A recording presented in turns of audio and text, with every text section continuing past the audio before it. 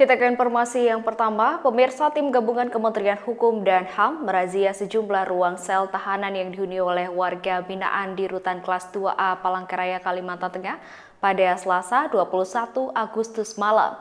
Dalam penggeledahan yang dilakukan, petugas mendapati senjata tajam dan empat buah ponsel.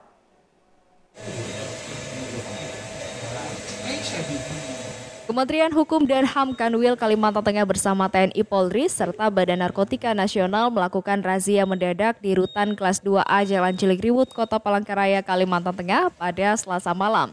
Razia dilakukan petugas dengan menggeledah sejumlah ruang sel tahanan yang selama ini dihuni oleh warga binaan yang tengah menjalani masa hukuman tahanan atas sejumlah kasus kejahatan.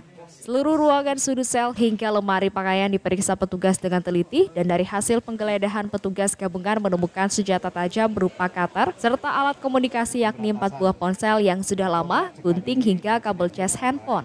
Selain merazia di dalam ruang sel tahanan, petugas juga melakukan pemeriksaan urin satu persatu para warga binaan, namun hasilnya belum ditemukan urin yang positif mengandung narkoba. Kepala Divisi Permasyarakatan Kemenkumham Kalimantan Tengah Trisaptono Sambuji menjelaskan, kegiatan razia digelar dalam rangka Hari Pengayoman sekaligus dibarengi dalam rangka Hari Kemerdekaan ke-79 Republik Indonesia. Atas temuan senjata tajam serta ponsel dalam razia tersebut, pihaknya akan melakukan pendalaman. Kita mengadakan razia e, bersama di rutan Palangkaraya.